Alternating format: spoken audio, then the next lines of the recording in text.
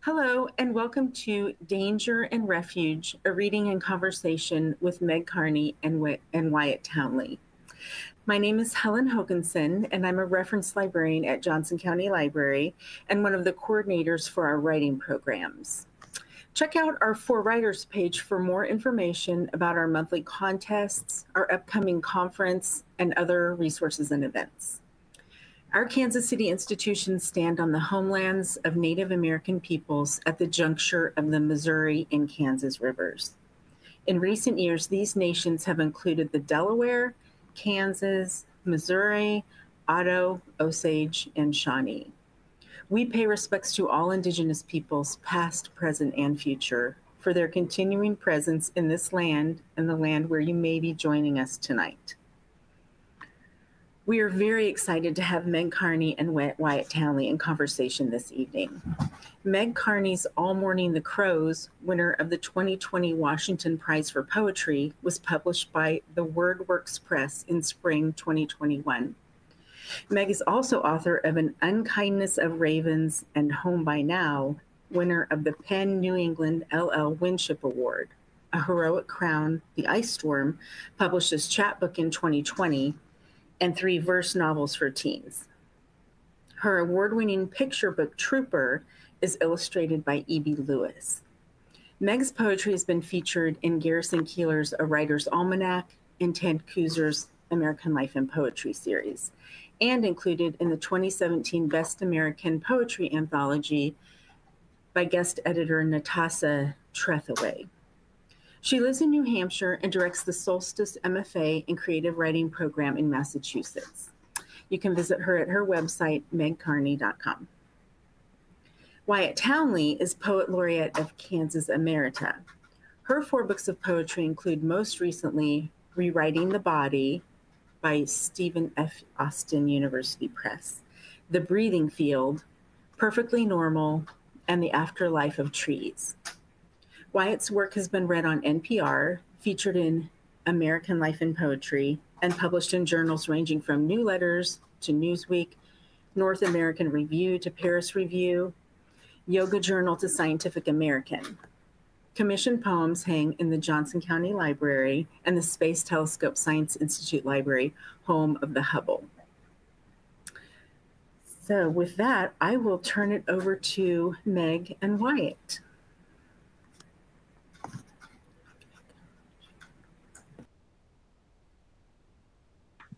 All right. Thank you so much, Helen and Lisa Allen and Diane and Joseph, the whole team at the Johnson County Library.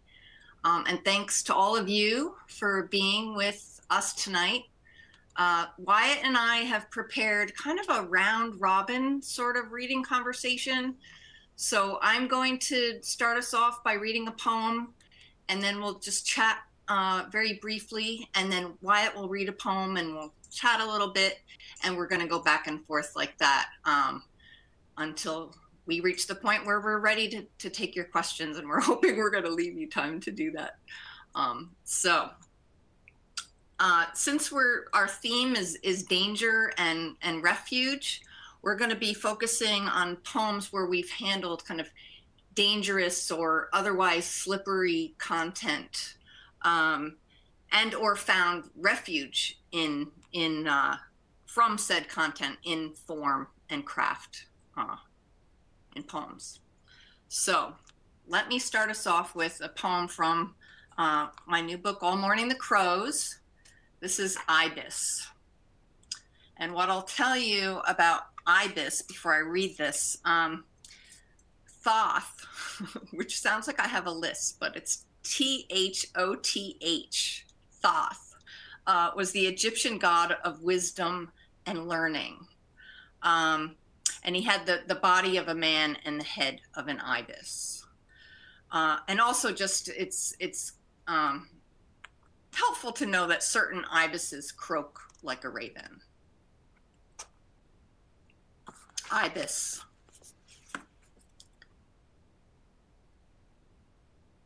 Her first mistake was trusting a god with the body of a man and the head of an ibis. People said he was old and bald and croaked like a raven, desired only shrimp and flies. But no, no, he was fine and smelled of salt. He knew her names, the one she was born with and the one she was given. Knowledge, he said, is a pond awake with fish. When he stripped her on its mossy bank and lured her in, she understood. Lily pads tangled around their knees. Her body was a map his hands had drawn. Beyond clear blue sky, she saw the moon, full, and stars in their constellations. If only she'd been satisfied. Instead, she tugged at his arm, insisting. For wisdom, he had to carry her to shore, lie her down, lay her down. She imagined the earth would open, reveal its golden center. But his bill was sharp. She thought he would be gentle. Yet with each peck, he drove her deeper, deeper, until she knew he had never truly been a waiting bird or a bastard child. He was God of a heaven where all the angels' bodies are broken.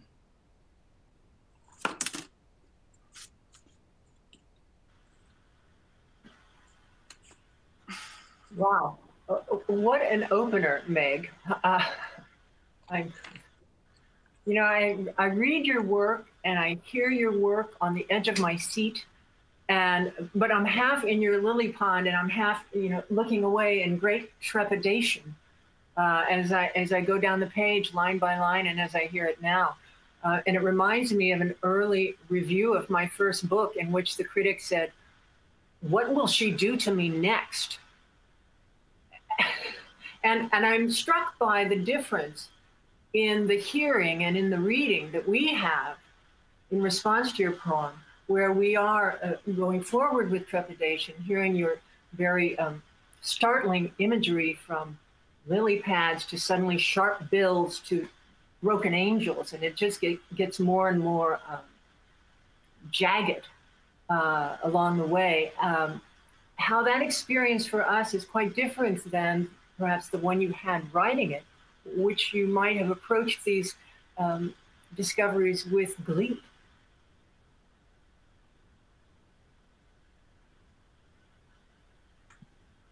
I recently heard uh, Nick Flynn in an interview say that um, the poem is is about the experience you have when you read it. The poem is about the experience you have when you read it, and I thought, huh, that's that's a really fascinating way to look at it. And I wonder, well, is it same for the writer? Like, is the poem about the you know the experience you have when you're when you're writing it? Um,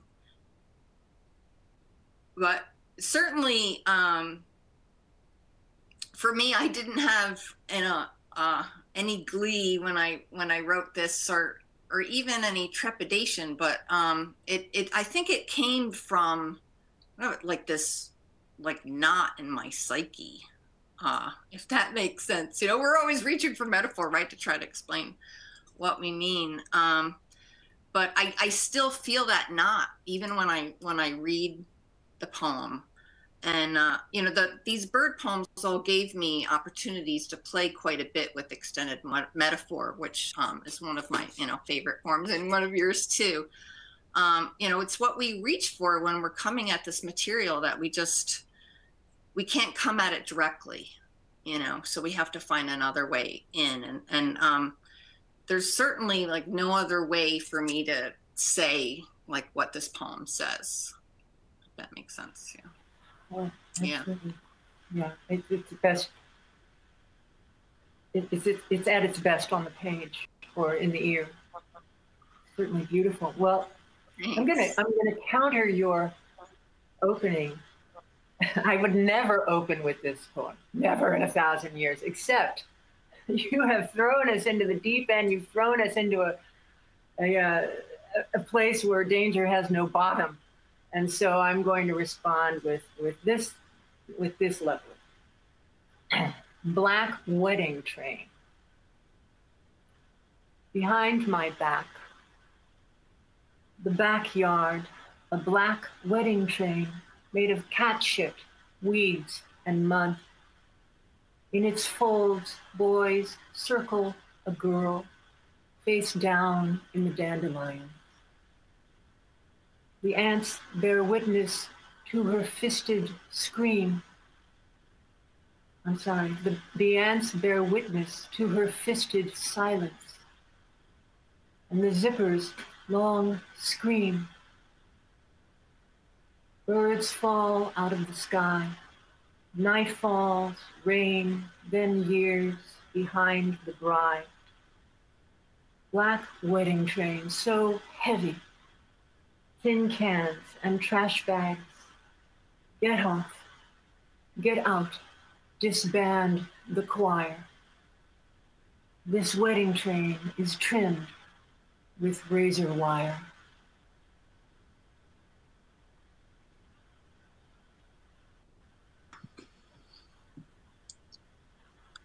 this poem just it cuts uh, it cuts so deep you know and i think probably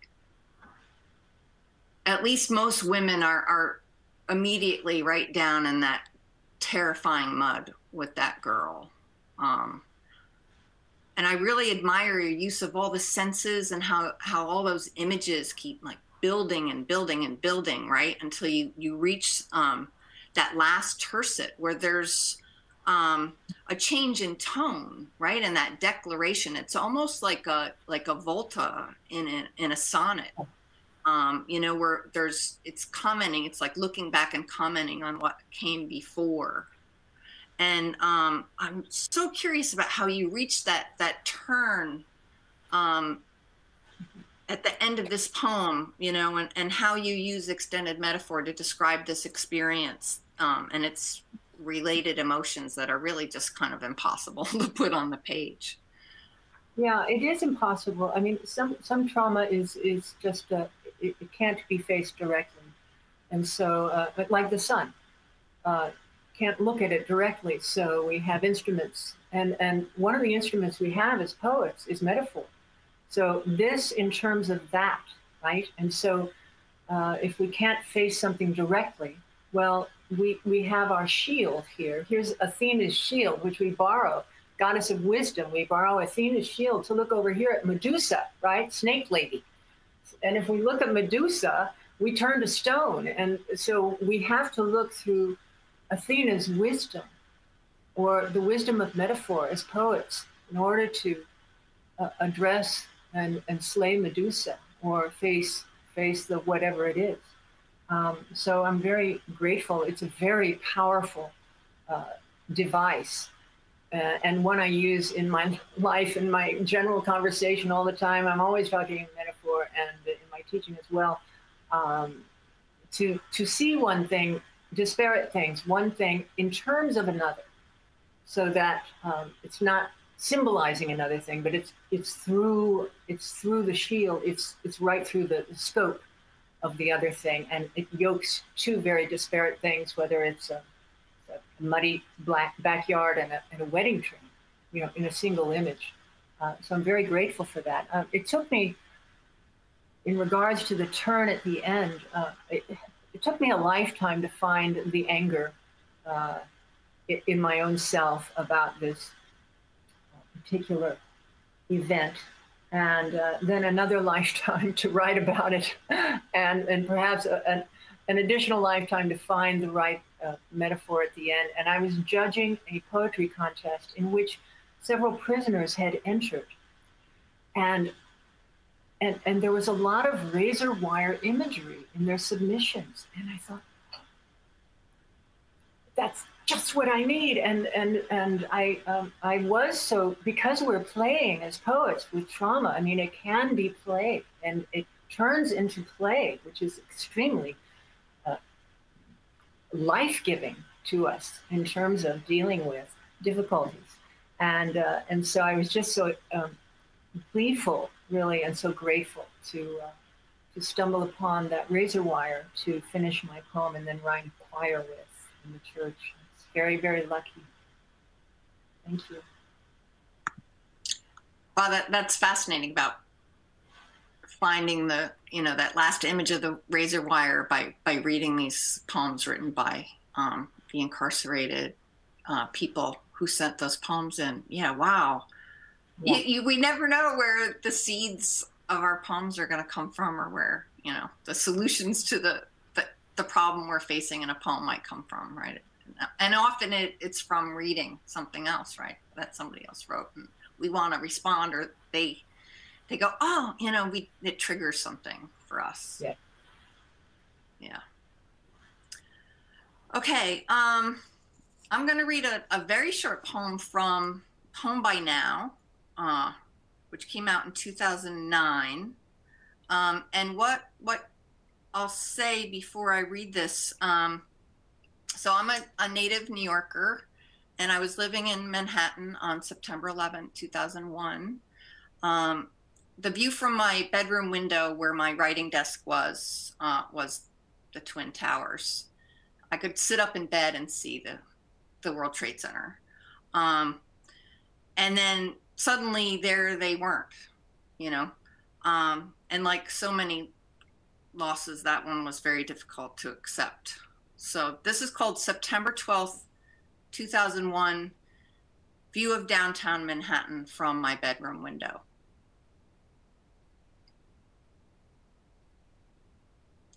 The amputee insists her legs are still down there. She feels them burning.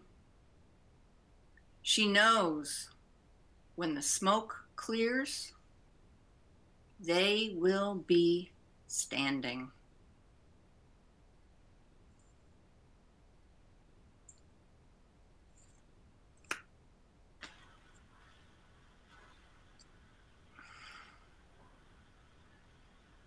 Yeah, that just knocks us all off our legs. Um, I'm interested in the, the title in reference to the poem. Uh, some poems are unlocked by their titles. And, and, and, I must say, I read this poem several times, uh, think, you know, looking at it as a, a, medical condition until finally I got the, I got the metaphor, the obvious metaphor, which is that the towers were, were the, the, the lakes. And, um, it was it was a revelation for me as a as a reader. And was it a revelation for you also as a writer? Yeah, you know, it's funny. Um,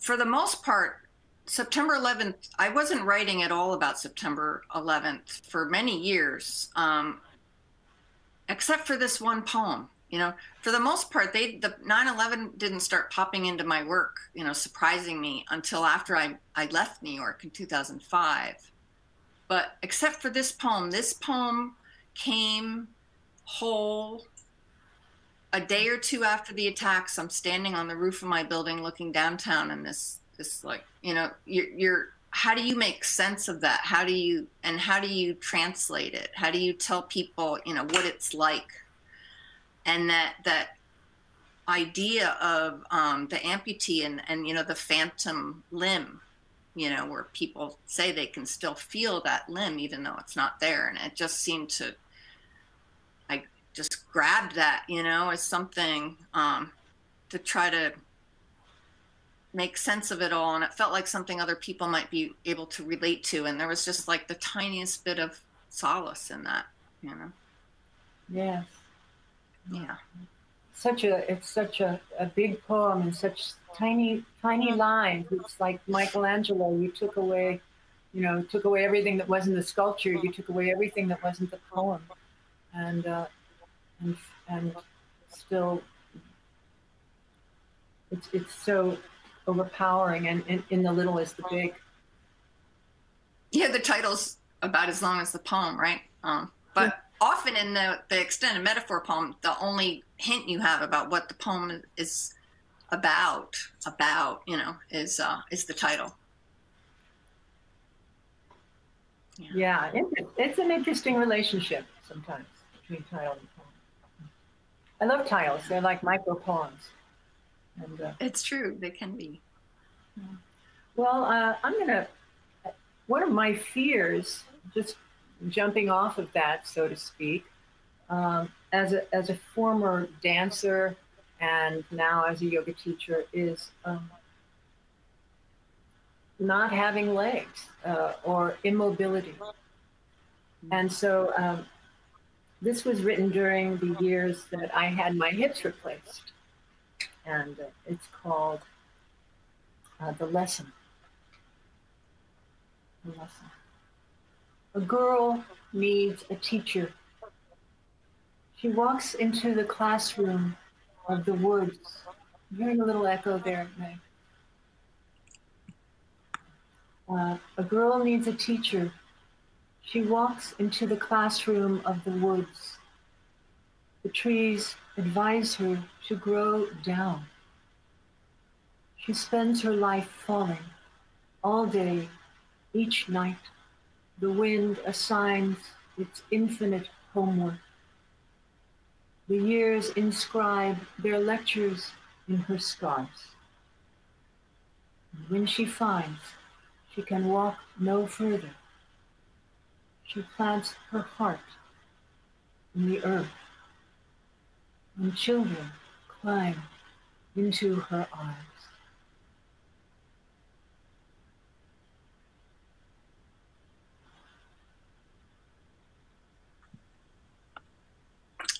I I love the ending of that poem.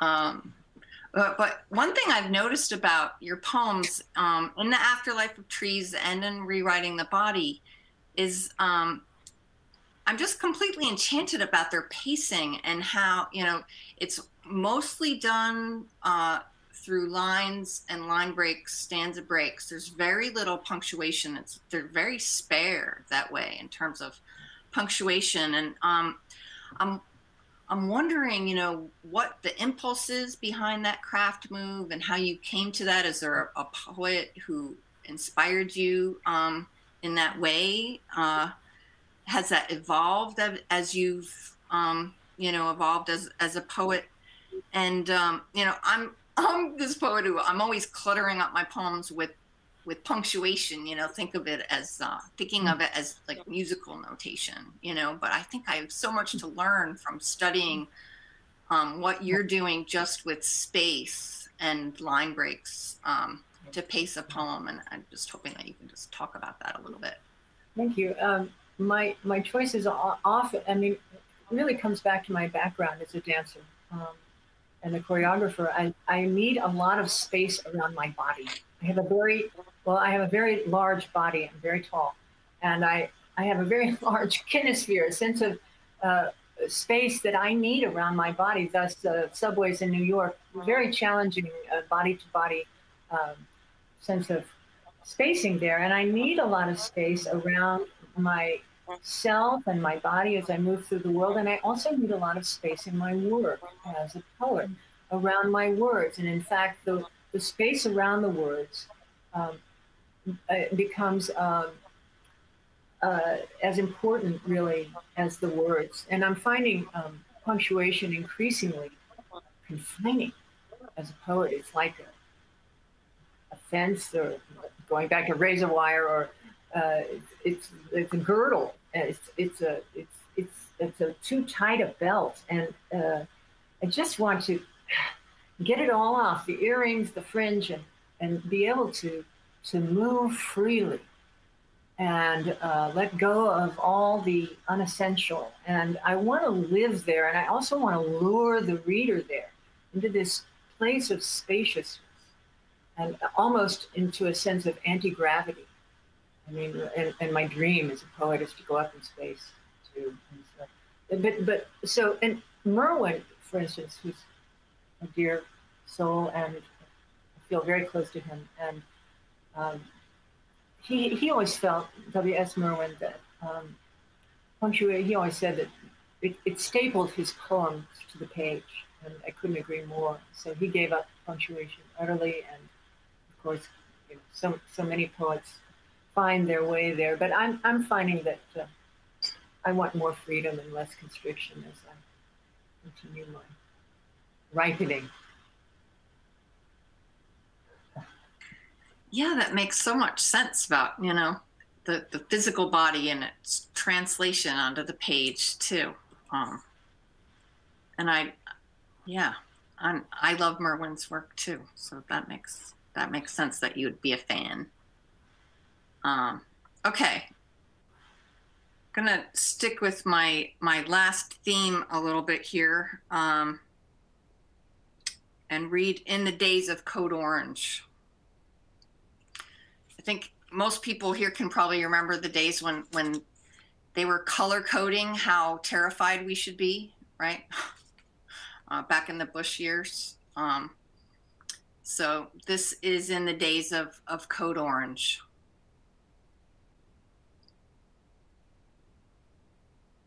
Terrorists might take the Empire State Building next might take you or me or the red eye to LA. Our fears escalate like the news anchor's tits. We're not sure if they're real or not. The men in black keep such secrets secured in the public's interest, yet they're never hung up by facts. Meanwhile, a woman dies cold in the park. An underemployed chef is driving a cab. A foster mother starves the boys in her care. The anthrax assassin sits tight in his lab. They'd drill ground zero if oil were there. Love Let's live by a code the color of wine. We have this cup and so little time.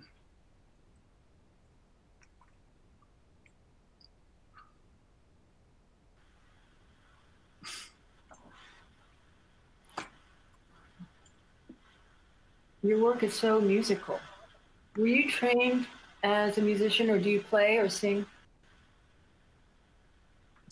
No, I, I played the flute as a kid. Um, and I, in recent years, I've been teaching myself to play the ukulele, but I'm now. a great choice. I, I, need to return to the uke. That's a, that's a great idea.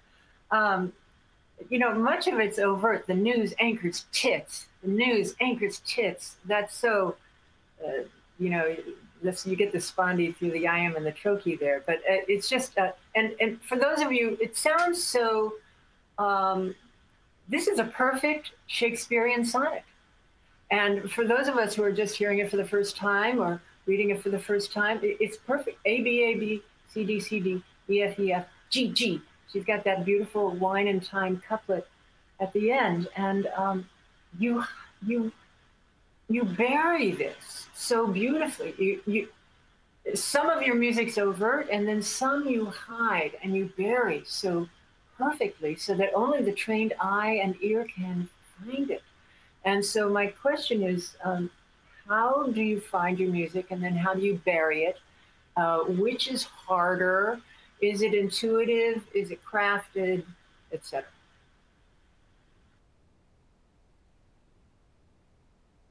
Um, my my mentor was a poet named William Matthews. So I know you you know who Bill Matthews was. Um, he he always said that the the poetic line is like a bar in music, you know, and that that we compose by the phrase, you know, or by the line. Um, and as you're you're writing the poem, you're listening to it, and you're creating these like melodies and even counter melodies, you know, as as you work. Um, and so I do aspire to to write musically. Um, but I think that you know the hardest part when you're writing like a truly formal sonnet is to make the language sound natural, right? I mean, I mean, Bill could do it really well. Robert Frost, you know, there, and there's so many poets today writing um, formal sonnets who who do it so well. And I'm not, I'm not sure if I'm I'm always successful. Um, but for me, the Shakespearean sonnet is is really the the most difficult of of the sonnet forms. You know, you would think well, it's got seven rhymes as opposed to the Italian where you only have five, you know, and you'd think, oh, well, the more rhymes, the, the better, right? But for me, when you're trying to sound natural, if you've got uh, to close the poem with that rhyming couplet, it's really hard to make that sound natural, you know. And I mean, and and if if people hadn't caught on, um, just hearing the poem for the first time, you know, that that I was reading a sonnet, definitely by that last couplet, people, you know, who go who know sonnets go, oh, that was a sonnet, you know. Yeah. Um, so, because you, you just can't hide that that rhyming couplet at the end. Um, well, and it's so lovely in the way that it clicks. You know, it just yeah, it just right, at the end. So right, so beautiful. Uh, uh, so, so are you searching for half rhymes as, as even more so than than uh, perfect rhymes? Yeah, I'm I'm big into internal rhyme, you know, um, yeah. and and definitely half rhyme, off rhyme, near rhyme, um, just you know, alliteration and you know that consonance and assonance, just trying to you know keep. You know, as I'm composing, I'm saying the words out loud, and that's what's helping to to guide me you know, and then and you know, giving you ideas of what can come next. And and when you're thinking that way, it also helps you stop, you know, um, that critic on your shoulder who's telling you, you know, you can't say that or you can't write that because you're too busy, you know, writing, you know, following the strictures of the form. Right. Um, so that's one of those, you know, that freedom of form that that we talk about too, you know, and and yeah. and um, Molly Peacock would say that you know the the form um, gives you like this safe house with within which to explore this this you know difficult content, and and Bill would say Bill Matthews would say that you know the whole function of form is to help you write the poem, um, and and help the reader read the poem you know, and give them a kind of a, a way of looking at it you know and I think really all of that's that's true right. with formal work, right. especially. And yeah. Frost would say, you know, free verse, you know, playing tennis without a net. Oi, you know, nothing right. harder, right. right? Nothing harder. So form is less uh, a cage than a playground.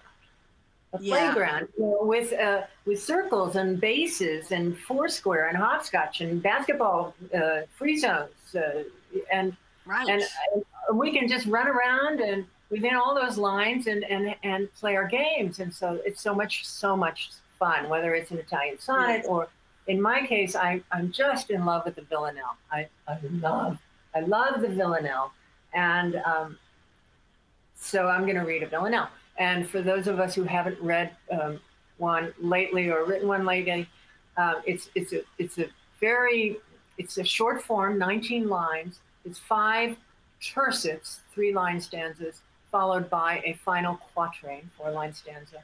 Uh, the rhyme scheme is very simple uh, for the ear. It's two rhymes, A and B. Uh, simple for the for the reader, hard on the writer because many many rhymes of A and B. And uh, but the trick of it is, and the, the the challenge of it is, the first line of the first stanza falls down to become the last line of the second stanza. Whereas the last line of the first stanza tumbles down and becomes the last line of the third stanza.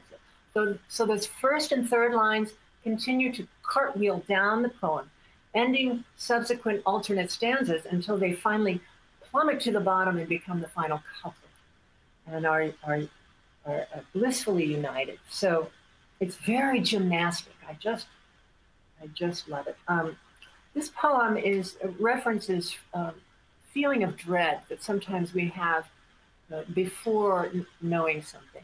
I know we've all had it. We've all waited for that kind of phone call that we know is coming. uh, where, where the dread may be worse than the news. Called Nothing But Everything. Will it be good or bad?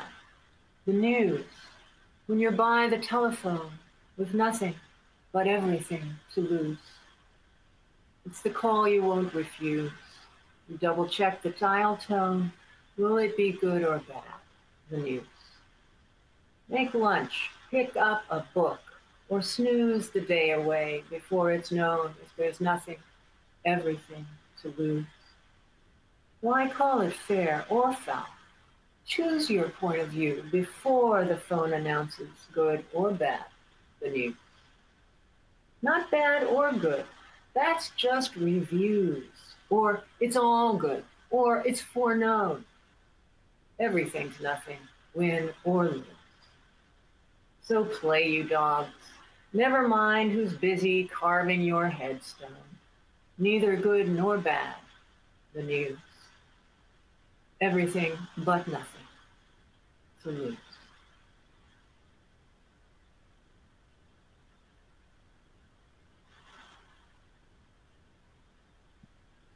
I think you know how much I love this poem.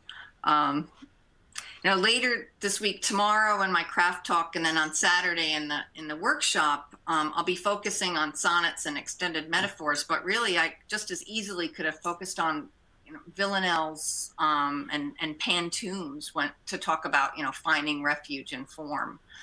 Um, and I know you, like me, you know, you especially turn to the villanelle, you know, and it just feels right for the poem. Um, my first encounter with with a brilliant uh, villanelle was probably um, Dylan Thomas. Do not go gentle into this good night, and then it was uh, Bishop, um, the art of losing, and uh, you know both about really difficult subject matters. And I'm wondering what for you is the particular appeal of, of the villanelle, um, especially when dealing with difficult subject matter. And, and when did you first in, encounter the form? Yeah, uh, I, mean, I just find it so gymnastic and fun. It's so mesmerizing. It's it's so comforting in its mesmerizingness, and I love the the different facets that the first and third line reveal as they move down the page and are slightly very variegated, varied, varied, uh, depending on the new context of the new material it's falling into. And so I just, I just, it's so, again, my dance background, I love the movement of it.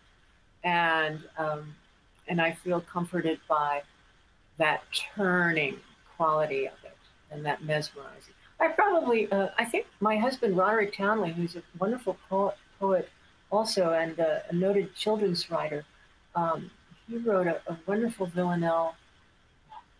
His name is escaping me, but uh, it was through his work and also um, uh, Bishop's One Art, and uh, and and Rothke's um. I always mispronounce. I don't say it often enough in groups. Theodore Roethke. Um, and I've, uh, the, and I'll get back to you on which which one that was. I know. I'm trying to think of the Roethke Villanelle too. All right, it's it's on the shelf behind me somewhere. I know. Me too. me too. We'll get back to that. Okay, um, I'm going to go back to All Morning the Crows and read Oriole. Um,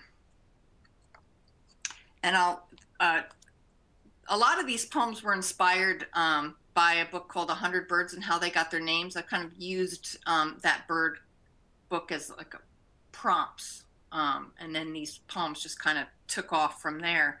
And this is a quote from from that book by Diana Wells. Uh, Orioles often use man made materials for their nests. So the 19th century uh, ornithologist Alexander Wilson warned, warned women to keep narrowly watching their thread that may chance to be out bleaching, you know, because the Orioles might snatch it off the line.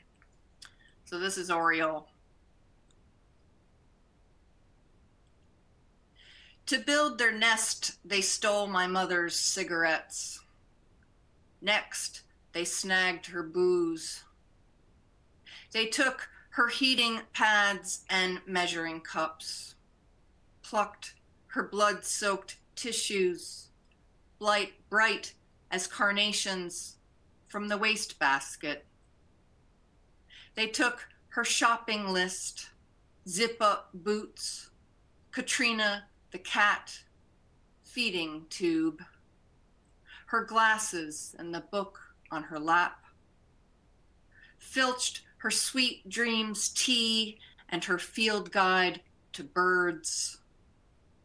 It wasn't all in this order, but they stole her Easter wreath, the tumor in her throat, ironing board, perfect penmanship, black silk slip, her late night bowl of ice cream and Cool Whip. They tried to take her last words, but she snatched those back, took those with her.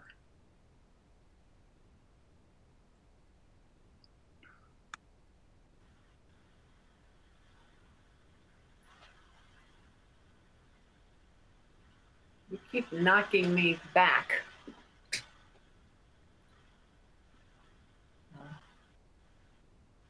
Your, your poems are so strong, Megan. Um, Thank you, Wyatt.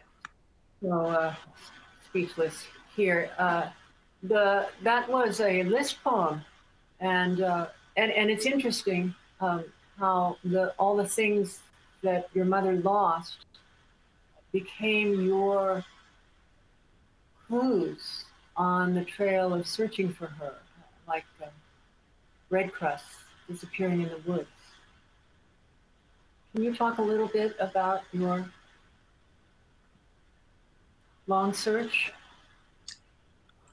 Yeah, honestly, I wrote this poem more as a way of, of keep her, keeping her from disappearing in uh, in 2010 when she died. Um, the idea of an Oriole stealing like a handkerchief for someone's panties off the line really ma- immediately made my think of of uh, of my mom. Um, this is my adoptive mother that we're talking about, who was a bird lover, and I have you know these memories of hanging laundry with her in the in the backyard.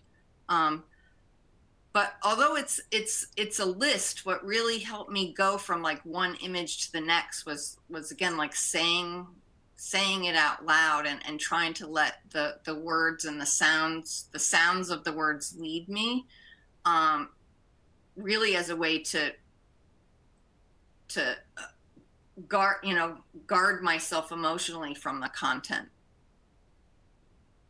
Yeah. Um, it was a good distraction i guess from from the content and the and from the loss. So it, they, the list became like guardrails. yeah yeah and and uh, and those the, they were really breadcrumbs you know back to her to keep her from disappearing. Um you know how we, we try to hold on to the people we lose like like oh what did she smell like? You know what did what was she you know what would she say at this moment what was she reading what was you know what was her favorite tea anything you can grab you know and and shove in the in the memory box to hold on to somebody Yeah. even the ugly things like the cigarette and and the booze you know it all goes in there Yeah, yeah, yeah, yeah. It's all in the basket. Yeah. Don't edit that. Um, so speaking of last words, um, I was very fortunate to be with my mother when she passed. And um, so I, I wrote this. And, and this is from Trees from a Train. I, I think it's a lovely book because I don't know if you can see it, but you see this tree on the front? It's the same tree. It's the same tree, different season. It's not dead. Not dead. It's just pretending. So, this is Trees So this you, you wrote this uh, new book, All Morning the Crows, about with the motif of crows. This is all about trees. Uh, came out a while ago. It's not my latest book, but same same idea of, of using trees in all the poems. Trees from a train. A silence swells between your breaths, stilling the smallest of bones. The hammer anvil, waiting for what is coming. I stroke your hair and hold your hand, the bed rail cold on my cheek, your eyes locked in mine, then drifting to a distance into which I cannot see, your breath drawing stars from all corners of the night through the funnel of your throat, louder than rain. A silence opens in all directions. The minutes slide by like trees from a train. And we ride. We ride past houses, past streetlights, past the last landmark of anything we knew, until the last one breathing is me. For you who gave me your my, mm, the last one breathing is me. For you who gave me my first breath have given me your last.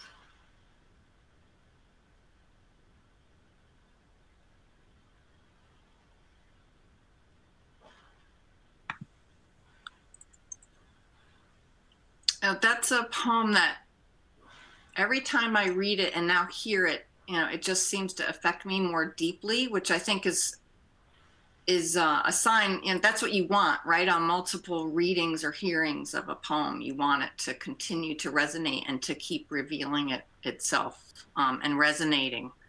Um, and it's really a, a, a, perfect lyric you know this moment captured in time. Um, and I'm, I'm hoping you can just talk a little bit about the experience of, of, of writing this uh, for me, it, it brings up the issue of time in, in cre- creating art about uh, tragedy or the difficult. Uh, and, you know, sometimes we need to marinate these things for years, as you mentioned, or uh, decades or lifetimes. Uh, this poem actually came fairly fast after my mother's passing and came rather of a piece, not unlike your World Trade Center poem. Uh, but but what's interesting in terms of time between event and art, let's just call it art, um, whatever that time span is needed, um, the time within the event, the time inside a crisis is, is fascinating to me because uh, I don't know if you agree, but um, in a crisis, um, time slows down and it, and it stretches out into ultra slow motion. So I'm very interested in, in our perception of time um, and in capturing that uh, as a poet, in, in, particular in this poem. And so I was very grateful to find the metaphor of the train. Um, you know, passing passing the trees. You know, I was a commuter in New York for many many years, and passing the trees, passing the street lights, passing the houses, and then into a space where that n- no one was familiar with, that was all new to me, in which there was nothing but silence. And um,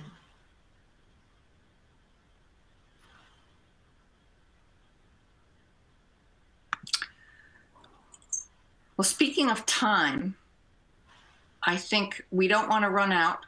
So I'll read one last poem and you'll read one last poem. Okay. Great. Um, I'm going to read Owl. This is from All Morning the Crows. It's so pretty. This is a pretty book too, right? Love that cover. Um, Owl. This is the first poem in the book.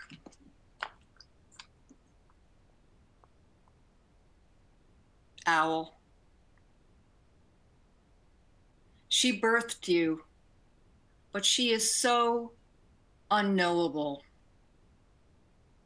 Is that the word?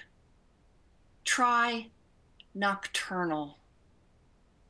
Each night, she glides on wings silent as a vole quivering under snow. Perched on your bedroom sill, she watches you dream twitch, then spins her head to spy the snow mound ripple, sugary in moonlight, as the vole tunnels past pines. She lifts off, silent, still, and you, daughter of hurt and squeal, are awake. When you sigh, your heart shaped face aches. Is that the word? Try breaks. Knowing when she dies, you'll inherit all she's swallowed whole, yet had to leave behind.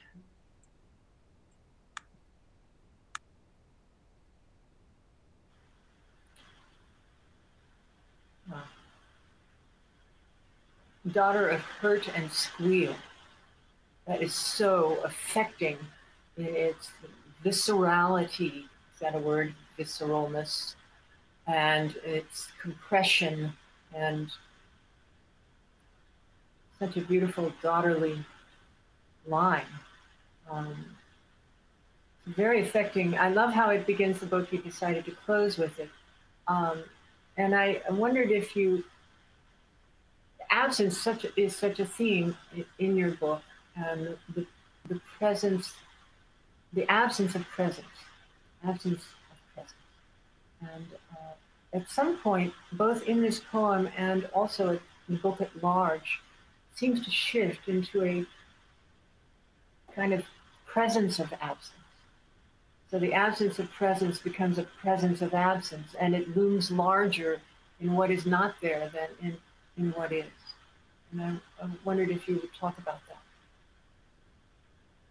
Yeah, um, thank you for noticing that. It, you know, it's always so gratifying when people kind of pick up on what you're trying to do and you don't know if anybody's even going to notice. Um, but, you know, like most poems, this one's really difficult to, to talk about. And, you know, if you could have expressed it in any other way, you wouldn't have write, written the poem about it. But, I mean, you mentioned the absence and the search for my, my first mother um, and bringing it to the page and you know bringing her to the page. And this is very much you know about that. Um, the project i'm up to my eyebrows in right now is trying to write her story. Uh, she gave me up when i was five months and then when i found her in 1999 she was dead. Um, so that's in there too. Um, but again you know how else to go to these scary emotional places but through metaphor you know, what would we do without metaphor? Um, so that's what I'll say about that because we're running short on time. Well, I'm gonna I'm gonna finish too. This will be my last poem, and and the, and the thing about metaphor and the thing about poetry uh, that I love is uh, it's always there. It's always there for. People come, people go. Whether as reader or writer. Weather comes, weather goes. Poetry is there for us, and its porch light is always on. Another metaphor. knowing the difference. The porch light is on. Its gold pours down around your ankle. Follows you up the curve of night, slides through rows of corn behind the parking lot. And when you have forgotten, the porch light is on, the glossy black back of the water bug by the welcome mat. On the soundless harp of the spider behind the downspout. When you have not found what you had to lose, and your steps are slow with doubt. The porch light is on. Look down at your old shoes gleaming. You're the door. You're the difference between in and out.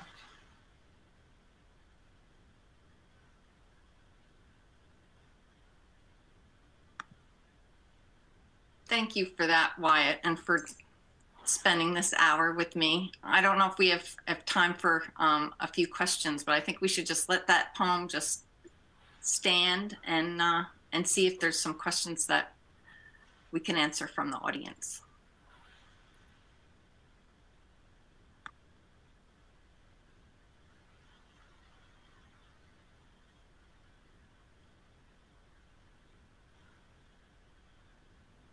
And I can even, okay, here's Helen. Uh, that was amazing. I if if we were live, you would have seen a lot of this. That was wonderful. Um, I'll share with you. I was at the uh, the Kansas Book Festival on Saturday, and Michael Diggs was quoting Huascar Medina, who's the current Kansas Poet Laureate.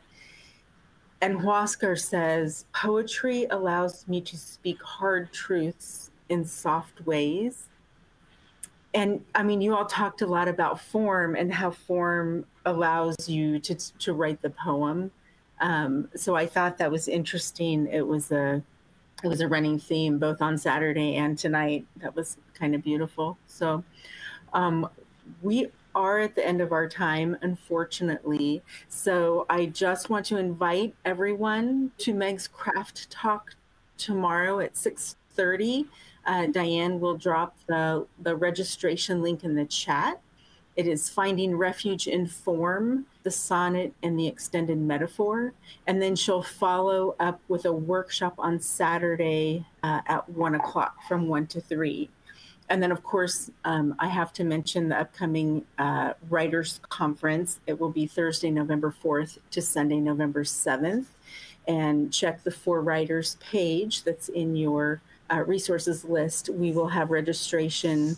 Um, registration will be up shortly. it's not ready yet, but save the date. and with that, good night, everyone. Thank you for joining us. Thank you so much, Helen and Wyatt, and and everyone uh, out there in the audience. We really appreciate your coming, and I'm sorry that we ran out of time for your questions. Well, and I'm sorry that we can't see you, but we feel you. yes. Yes, thank you. And we'll hope to see you tomorrow and Saturday. Saturday, if you're there, I really will see you. Yeah. So thanks again and have a great night, everyone.